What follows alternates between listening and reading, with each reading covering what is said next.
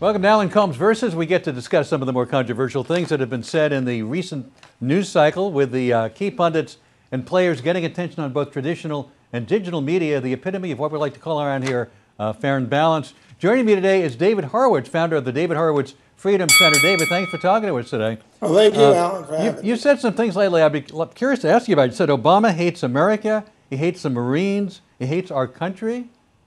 And you really I believe that? I also said he's a traitor. And he's a traitor. Uh, yeah. Well, let me ask you, Alan. If uh, I think this is a no-brainer. If Franklin no-brainer? Roosevelt uh, delivered a nuclear weapon to Hitler and 150 billion dollars in ballistic missiles to carry on terrorist attacks against America and the West, what would you call Roosevelt? Well, that's not what's uh, happening. This Obama has preferred a country, the, the, the America's greatest enemy, who has killed more Americans um, than any other country except in open warfare. All those IEDs, all those wounded warriors are killed by Iranian IEDs. Uh, he prefers that over Israel. You have to say this man is a Jew hater. He doesn't really care hater. if Israel is absolutely wiped off the face of the earth. I don't care what he says. I don't care how much Iron Dome he delivers. What he's doing is he has his legacy by his own determination, is to build up Iran and introduce it into the community of nations when it is worse than Nazi Germany because Hitler hid the final solution. He didn't shout it. Wait, wait a minute. Are you, are accusing are you Obama of being akin and to Kerry Adolf is, Hitler? Uh, you know, he's a family member with uh, with the guy he's negotiating with in Iran. He's got a you know Iranian uh, daughter-in-law, whatever it is. David, are you accusing Obama of being akin to Adolf Hitler? I, uh, he is not Adolf Hitler. He's an evil man. In that sense, yes. An evil man? He is destroying, he, he's destroying our borders. He, he, he will pick up, he will send emissaries um, to Ferguson for a street thug who got himself killed, uh, you know, attempting to disarm a police right. officer resisting arrest. David, you're but when a beautiful young woman who happens to be white and is a, a good Samaritan when she is murdered by somebody I, that he is chiefly responsible David, you're, for you're getting covering, into this country. Right, hold, hold, it, he hold won't it. even pick up the phone. Hold it just a second, David. call her parents. You're holding. Hold on he a second, David. Systematically destroying can, can you hear me? Okay, America. David. David, can you hear me?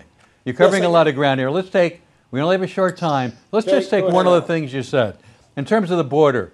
Let's put up what The Economist is reporting. America is expelling illegal immigrants at nine times the rate of 20 years ago. Nearly 2 million so far under Barack Obama outpacing any previous president. And I can okay, show you some so numbers. Let me just finish for a moment here. Numbers from the U.S. Department of Homeland Security. You can see year by year how deportations have increased, specifically under President Obama. What you're stating is categorically untrue. Well, no, it is categorically true. I mean, you know, figures don't lie, but liars can figure. And the, and the How is that a lie? What we just showed you? How is that a lie? a left-wing paper. Oh, you tell me why he's violating the Constitution by his own account. Says he doesn't have the authority for this amnesty, uh, uh, the deportation amnesty.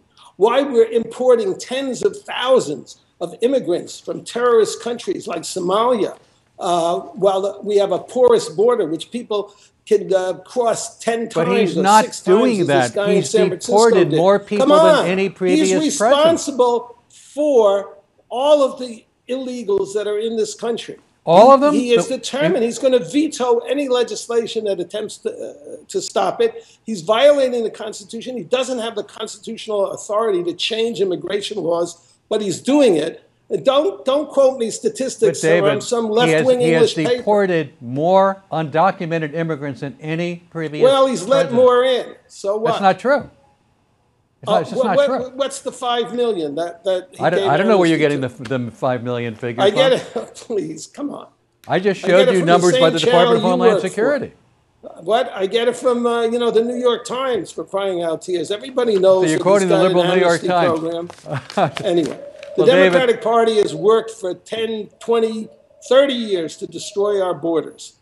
Well, that's that's their policy. According to the Department borders. of Homeland Security, we don't care who comes in. We're not going to screen them for contagious diseases. We're not going to look to see if they're criminals.